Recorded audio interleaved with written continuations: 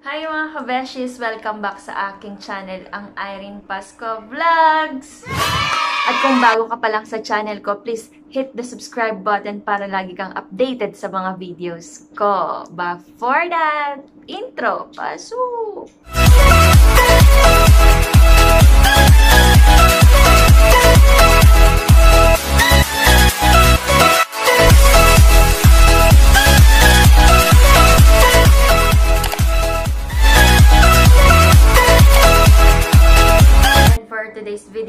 Ko sa inyo kung ano yung naging preparation ko para sa aking 2 weeks covering sa Sohar Hospital. Yes, mga kabeshis, na pull out po tayo para mag-duty sa COVID ward. Alam naman po natin sa lahat po ng hospital sa buong mundo, nagkakaroon po ng shortage ng mga staff gawa ng COVID-19. At maging dito na rin po mga beshis. Kasi po, dun sa Sohar Hospital, which is yung regional hospital dito, gumawa po sila ng extra wards, uh, three wards, isang ICU for COVID patient at isang A&E for COVID patient din para nga ma-prevent yung yung spread ng infection. Definitely, may mga staff at mga nurses pong na-infect at kailangan po nilang mag home quarantine ng 14 days. So, mapipilayan po talaga yung ibang wards kung hindi kung wala pong magjujuting mga nurses. So, what they made is, kumuha po sila ng mga staff, staff from other health centers, mga polyclinic para mag-cover po doon. At isa nga po ako doon. And that time, it was Sunday, nag-message sa akin yung in-charge ko. Sabi niya, Irene, it's your turn para mag-duty doon. And few days back, parang ramdam ko na parang pwede akong mapunta din doon. I just prepared myself, I mean mentally, para naman hindi ako magulat. And yun na nga kinabukasan na ng pagmumuni-muni ko, nag-message na nga yung in-charge ko. At ang medyo masaklap, hindi niya sinabi, or hindi rin niya alam kung kailan, just she said na mag-prepare daw ako at pupunta daw ako doon ng 2 week time na feel ko na natakot ako kasi nga hello COVID yon dito nga nagpaparanoid na kami sa suspected COVID patient tsaka mild cases lang tapos ma-expose ka sa ward ng mga pasyenteng may COVID. Although para sa sarili mo naman, para nakakagulat or nakakashock talaga kasi knowing our hospital setting here, hindi naman ganun talaga nakabisi at kukunti lang yung pasyente namin dito.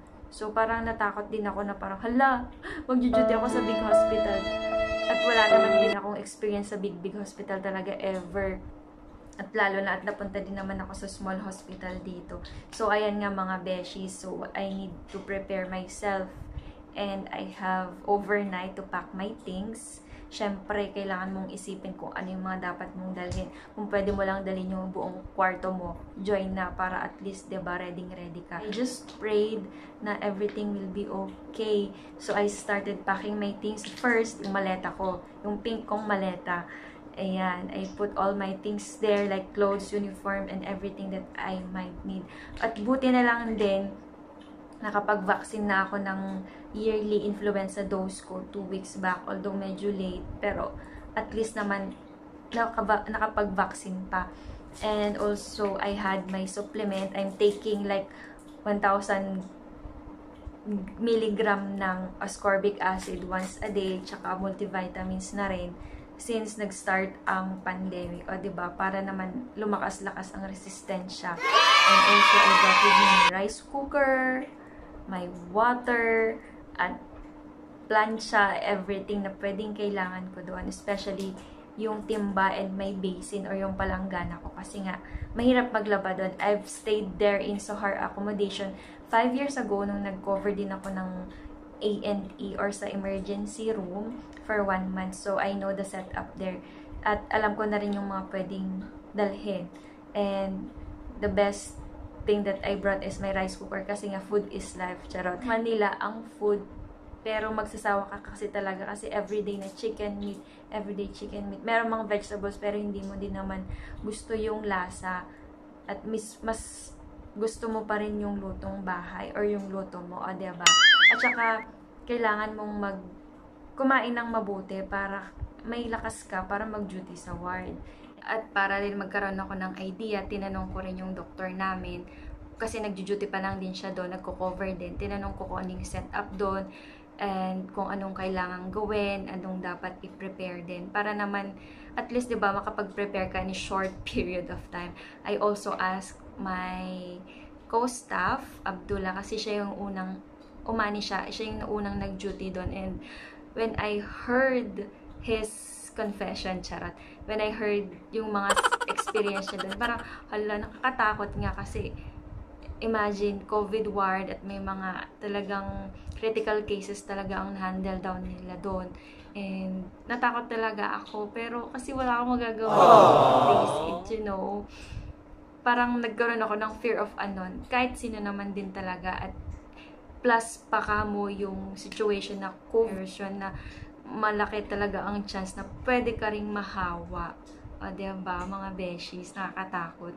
But alhamdulillah, I was relieved nung nagbigay sila ng advice, just like take care of yourself.